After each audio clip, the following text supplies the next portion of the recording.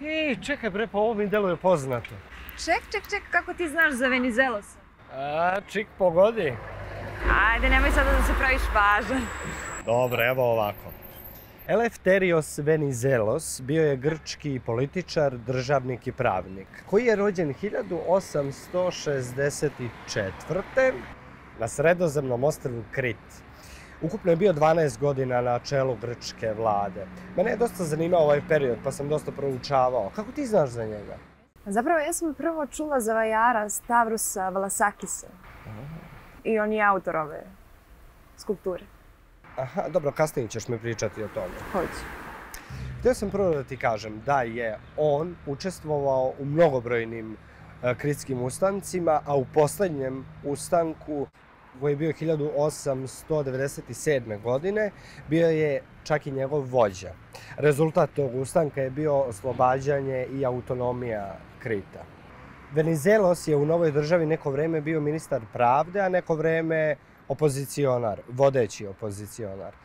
Dok 1910. godine on dolazi u Atinu, osniva svoju političku partiju, ulazi u parlament i iste godine dobija mandat za formiranje nove vlade. I odmah je započeo sa opsežnim reformama.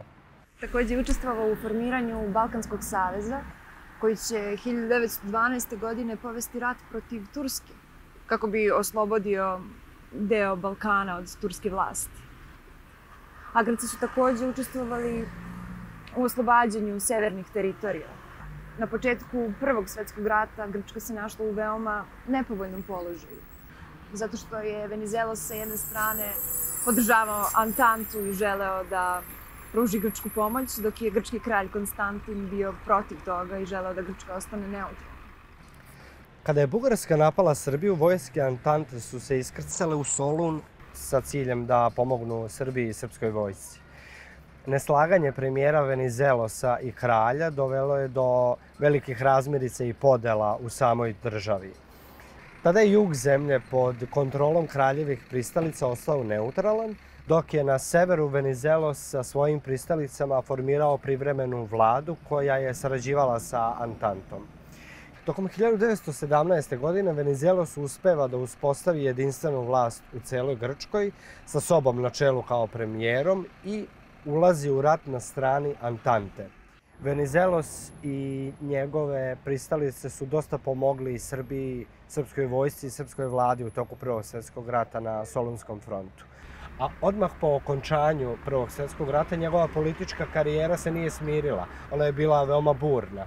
On je nekoliko puta odlazio i dolazio na vlast, čak su i dva puta pokušani neuspešni atentati na njega. A 1933. godine on u Grčku uvodi vojnu upravu. I taj potez ga je koštao političke karijere. Morao je da ode iz Grčke, umro je u progonstvu u Francuskoj 1936. godine.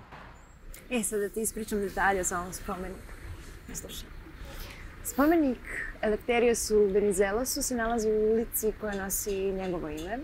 Delo je vajara Stavrosa Valasakisa iz 2001. godine, a postavljeno je 2004. godine od strane udruženja Elefterios Venizelos sa Krita.